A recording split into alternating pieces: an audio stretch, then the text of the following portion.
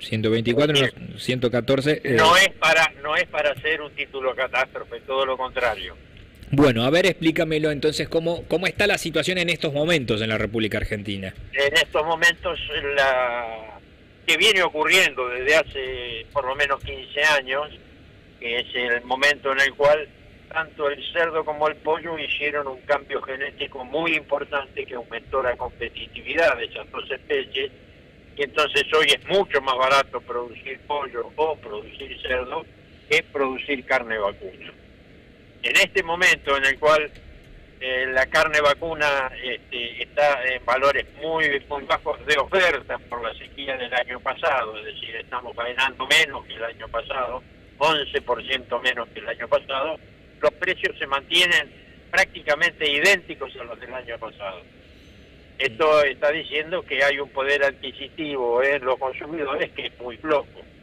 Y, y sí, comparamos que con el valor promedio de un kilo de carne vacuna se pueden comprar tres kilos de pollo o se pueden comprar dos kilos de cerdo, eh, es fácil deducir por qué se consume menos carne vacuna y se consume más carne de pollo y más carne de cerdo. Mm, es, el bolsillo el que decide. Claro, el bolsillo está decidiendo. Y, a ver, me interesa esto. ¿Qué, ¿Qué proyección ves en los próximos años para la República Argentina? ¿Un crecimiento del, todavía más de la producción de pollo y de, y de cerdo o una recuperación de la carne vacuna? Van a ocurrir las dos cosas con una diferencia o con algo que este, no, no se da directamente. Va a aumentar, esperemos, y, creo que los productores con la libertad que están teniendo hoy para producir, este, si bien faltan algunas cosas como sacar las retenciones este, y sacar el impuesto al cheque, es decir, algunas cosas que este gobierno se comprometió a hacer y que esperamos que siga haciendo, ha desregulado las regulaciones este, que existían en el gobierno, en los gobiernos anteriores, excepto en el de Macri, siempre hubo regulaciones que lo único que generaban era eh, corrupción, por decirlo de alguna manera.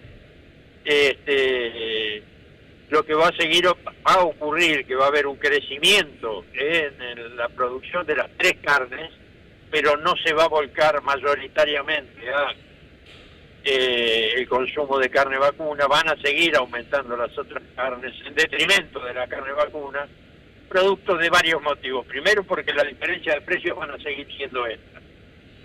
Este, y segundo, porque nosotros, cuando digo nosotros, digo la gente mayor, estamos acostumbrados a comer carne vacuna todos los días. Pero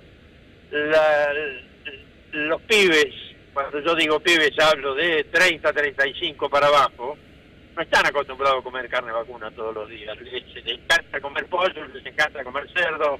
Es decir, hubo un cambio de hábitos de consumo muy fuerte que se va a mantener en el tiempo y por ahí hasta se agudiza. Eh, y mm, ¿Eso puede significar un cambio también en, eh, en, algo que, bueno, Argentina lo ha caracterizado, como es el tema de la producción de, carne? O, crees que de todos modos Argentina va a seguir produciendo y para vender al exterior?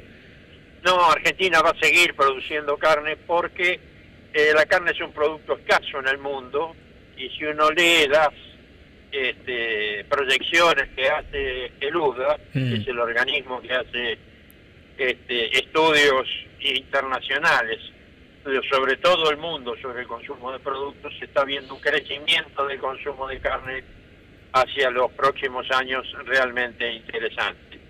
Sobre todo en los países del sudeste asiático, y como ustedes saben ha, ha tenido una explosión de una transferencia muy fuerte de trabajadores agropecuarios que comerían muy poco ese esa imagen que tenemos de los chinos en el campo con una pantalla este, en la cabeza como, como sombrero, este, comiendo una escudilla de arroz, eso se está cambiando, ha cambiado muy fuertemente en los últimos 10 años y ya prácticamente no se ven esos productores este, agropecuarios y se está convirtiendo en una enorme producción agrícola ah, perdón, una enorme producción industrial en todas las ciudades. Mm.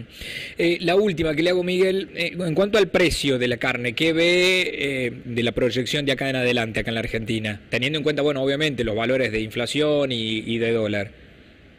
Lo que, para empezar, habría que decir que la carne vacuna aumentó este año en 37% contra el 140 o el 145% entre pollo y cerdo es decir, aumentó mucho menos que la otra carne, pero sigue estando más cara, por mm. supuesto.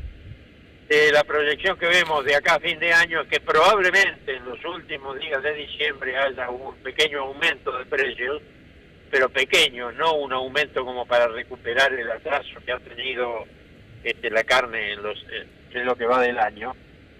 Este, y sí suponemos que va a haber un, aumento un poco más fuerte para los meses de febrero-marzo.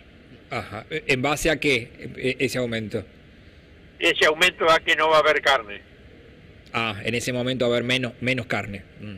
Exactamente. Mm. Eh, ¿Por qué va a haber menos carne? ¿Qué, qué, sucedió en la Argentina? Eh, lo que sucedió en la Argentina, vos vivís en La Rioja, así que habrás, habrás sufrido una, una sequía mucho peor que la que se sufrió en la, pampa húmeda, digamos. Sí, sí, bueno, eso generó que tuviéramos 750 mil terneros menos, que se liquidaran vacas. Liquidar vacas es matar más del 50% de las vacas este, como faena y eso hace que te quedes con menos madres y esas menos madres te van a dar menos terneros, entonces va a faltar carne. Mm. Miguel, le agradezco, muchísimas gracias por su tiempo. ¿eh? No, al contrario gusto, hasta pronto. Miguel Schiariti, titular de la Cámara de la Industria y Comercios de Carnes y Derivados. Bueno, entonces, explicado bien, ahí le había sacado un, eh, carne vacuna, que es lo que ha caído en, el menor consumo en los últimos 28 años, lo explica en algo que es eh, el precio del pollo y el precio del cerdo y también de los nuevos hábitos, ¿no? Este, que las personas, las nuevas generaciones, los más jóvenes no están acostumbrados a comer carne como estábamos acostumbrados los más grandes. Eh, yo me incluyo, porque estaba acostumbrado a comer carne todos los días, sí, sí. Eh, pero sí, es cierto que los hábitos han cambiado. Sí, totalmente. Ya está Eduardo Germán, Moni. APJAE, Asociación del Personal Jerárquico del Agua y la Energía Seccional La Rioja, solicita a sus afiliados informar correo electrónico para hacer